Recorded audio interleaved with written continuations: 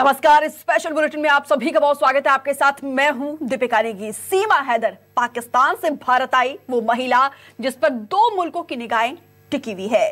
कोई उसके प्रेमी के प्रेमिका मानता है तो कोई किसी को सीमा हैदर जासूस लगती है। लेकिन यूपी एटीएस की दो दिन की पूछताछ के बाद सीमा पहली बार मीडिया के सामने आई। उसने दावा किया कि एटीएस ने उससे सचिन मीरा से जितने भी सवाल किए हैं, उनके सच्चे जवाब दिए, लेकिन जो कहानी अब तक सीमा हैदर ने सुनाई है, सच सिर्फ़ उतना नहीं है। आज जो एक साथ सीमा हैदर से जुड़े कई किरदार के सनसनीखेज खुलासे करेंगे और खुलेगी सीमा हैदर की सीक्रेट डायरी। और सामने आएँगे सीमा से जुड़े हुए कई ब्लैक चैप्टर जो आपको हम दिखाने जा रहे हैं कि आखिर देखिए, सीमा हैदर का ये ब्लैक चैप्टर क्या है।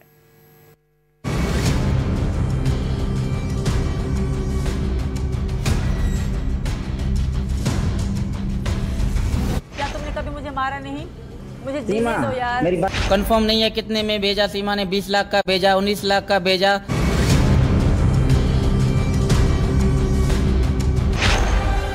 सीमा हैदर ने जो छिपाया पाकिस्तानी पति ने बताया।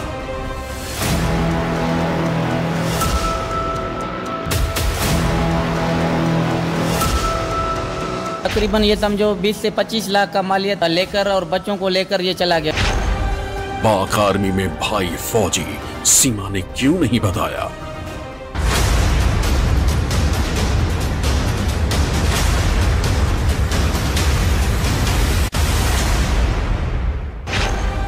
हिंदुस्तान आने का इंतज़ाम, किसे बेचा सीमा ने मकान?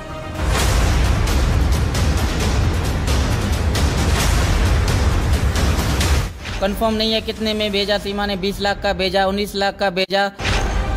सीमा हैदर पर सुलगते सवाल। सरहद पार से मिलेंगे जवाब।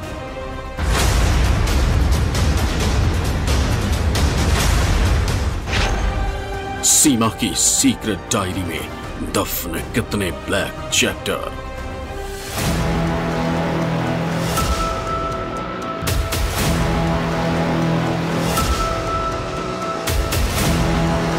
मैंने सच तो बोला। अब समझा पाई या ये कोई समझाने वाली बात नहीं थी। उन्होंने पूछा मैंने सच बोला अब जो कहेंगे वो वैसा ही करेंगे हम।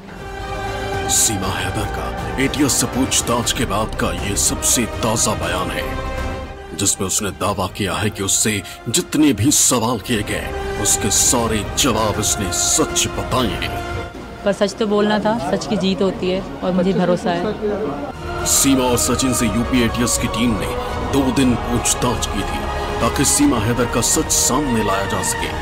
पता चल सके कि वाकई सीमा प्यार में पड़कर नोएडा तक पहुँची है या फिर वो कोई पाकिस्तानी जासूस है।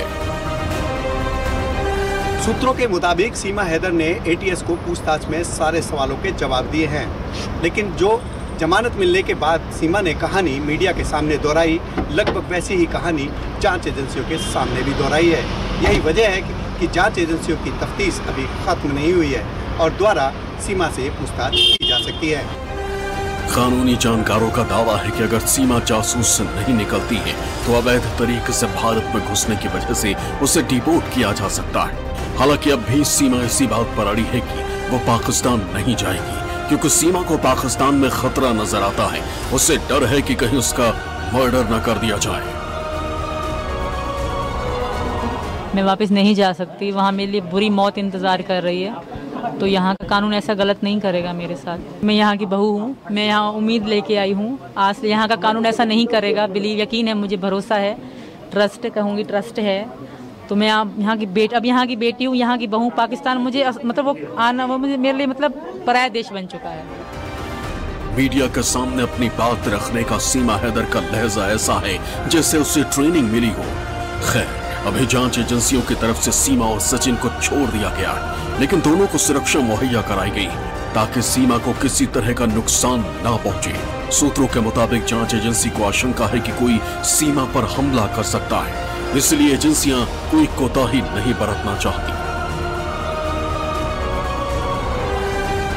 ये तो बात हुई सीमा की ताज़ा कहानी की, लेकिन सीमा का पाकिस्तानी पति गुलाम हैदर एक बार फिर मीडिया के सामने आया।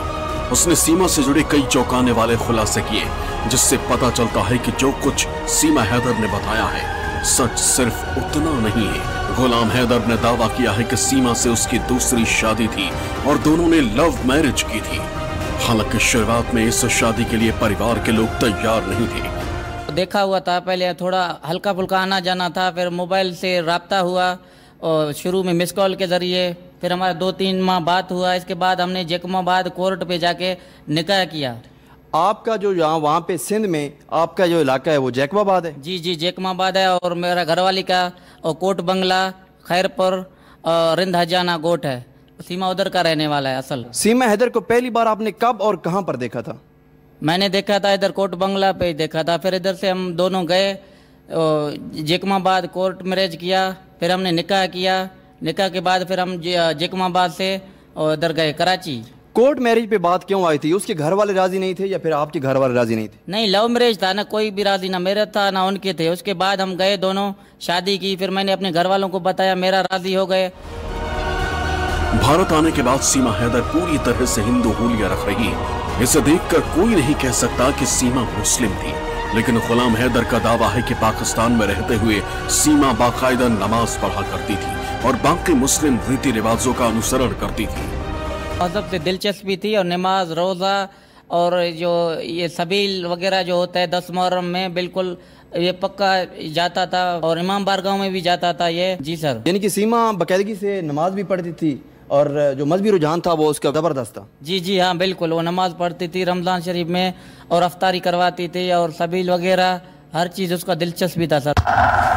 सीमा हैदर का नेपाल चैप्टर। न्यूज़ 24 ने खुलासा किया था कि नोएडा आने से पहले ही सचिन और सीमा की मुलाकात नेपाल में हो चुकी थी। दोनों ने काठमांडू के एक होटल में सात दिन गुजारे थे। अब इसके सबूत हम आपके सामने लेकर आए हैं। साथ ही बेनकाब कर रहे हैं सचिन का सफ़ेद झूठ।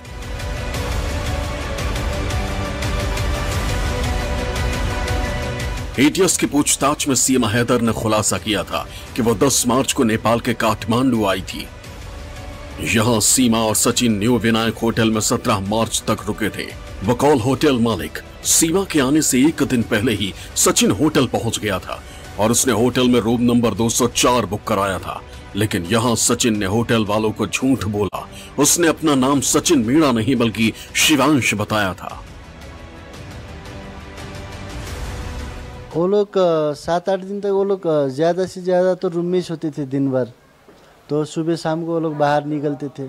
तो फिर जल्दी आ जाते थे, क्योंकि हमारा होटल शाम को साढ़े नौ, दस बजे ऐसा क्लोज हो जाती है। तो वो लोग आठ, साढ़े आठ बजे पहुँच जाते थे। वो लोग ज़्यादा से ज़्यादा बाहर से फ्रूट्स केले बनाना जो भी है एप्पल्स फ्रूट्स खाते थे, ज़्यादा से ज़्यादा। और वो लोग अगर रूम में खाना खाए तो वो लोग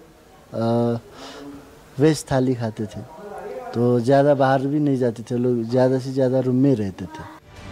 सचिन ने न सिर्फ़ अपना नाम गलत बताया, बल्कि सीमा की पहचान भी छिपाई थी। उसने होटल वालों को गलत जानकारी दी। उसने सीमा को अपनी प्रेमिका न बताकर पत्नी बताया था। साथ ही सीमा के पाकिस्तानी होने की जानकारी भी गुप्त रखी थी। उसने सीमा को प्रीति बताया था। इसलिए जब पाकिस्तान से काठमांडू पहुँची, सीमा होटल पहुँची तो होटल वालों ने उसकी ज़्यादा पड़ताल नहीं की। वो लोग सात आठ दिन तक वो लोग ज़्यादा से ज़्यादा तो रूम में ही सोते थे दिन भर तो सुबह शाम को वो लोग बाहर निकलते थे। तो फिर जल्दी आ जाते थे, क्योंकि हमारा होटल शाम को साढ़े नौ, दस बजे ऐसा क्लोज हो जाती है तो वो लोग आठ, साढ़े आठ बजे पहुँच जाते थे। वो लोग ज़्यादा से ज़्यादा बाहर से फ्रूट्स केले बनाना जो भी है एप्पल्स फ्रूट्स खाते थे, ज़्यादा से ज़्यादा। और वो लोग अगर रूम में खाना खाए तो वो लोग वेज थाली खाते थे। तो ज़्यादा बाहर भी नहीं जाते थे लोग ज़्यादा से ज़्यादा रूम में रहते थे। सवाल ये कि सचिन हर जगह झूठ क्यों बोल रहा था? उससे अपनी पहचान छिपाने की ज़रूरत क्यों लगी? इतना ही नहीं, जाँच में खुलासा हुआ है कि होटल में पाँच सौ रुपए प्रतिदिन के हिसाब से रूम बुक किया गया था। दावा है कि ज़्यादातर वक्त दोनों होटल रूम में ही बिताते थे। कुछ वक्त के लिए ही बाहर निकलते थे, लेकिन समय से वापस लौट आते थे।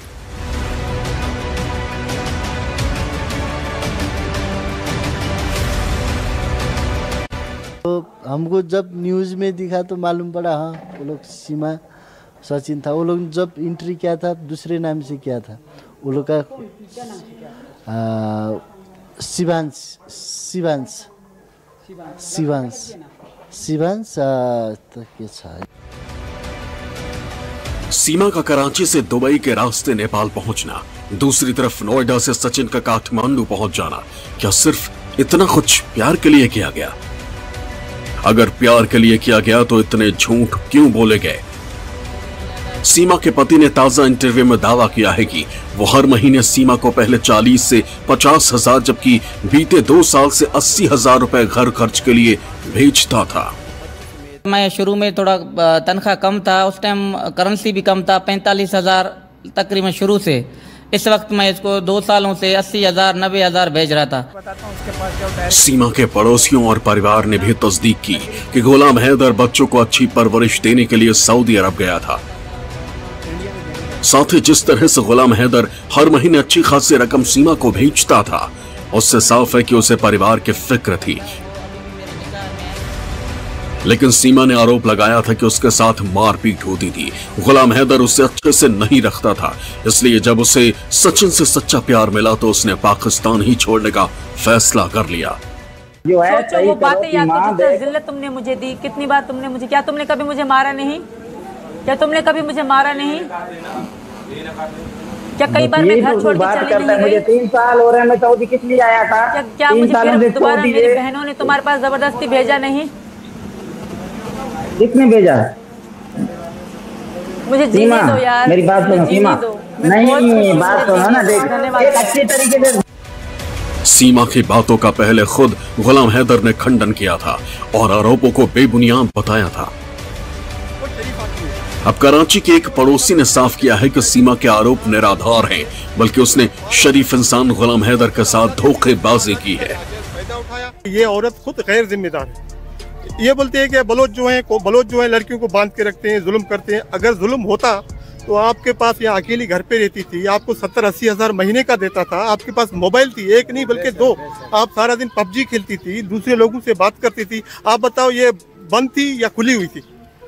खुली हुई थी सीमा? खुली हुई थी जी हाँ। यहाँ से उसने घर बेचा है घर इसके नाम पे किया उस शोर ने। इससे इतना प्यार करता था वो जिम्मेदार था। तीन साल से बेचारा वो दुबई में काम कर रहा है अगर इसकी बातों में सच्चाई है तो सवाल उठता है कि सीमा हैदर ने फिर क्यों गुलाम हैदर के साथ धोखा किया और अवैध तरीके से भारत चली आई। जहाँ 4 जुलाई को गिरफ्तारी के बाद कई ऐसी चीज़ें हुई, जिसके बाद यूपी पुलिस से लेकर रॉ तक इस केस में शामिल हो गई है। यूपी पुलिस, शुरुआती जाँच की और 4 जुलाई को सीमा के साथ सचिन को गिरफ़्तार किया। यूपी एटीएस आईबी के इनपुट पर सीमा और सचिन से दो दिन तक पूछताछ की सेफ़ हाउस में शिफ्ट किया। आईबी सीमा पाकिस्तान से भारत में कैसे आई जाँच कर रही है? आईएसआई से कनेक्शन की जाँच भी कर रही है। रॉ आईबी को इनपुट दिया गया कि सीमा के भाई और चाचा पाकिस्तानी फौज में हैं। इस केस में सीमा हैदर के खिलाफ जाँच एजेंसियों को कई अहम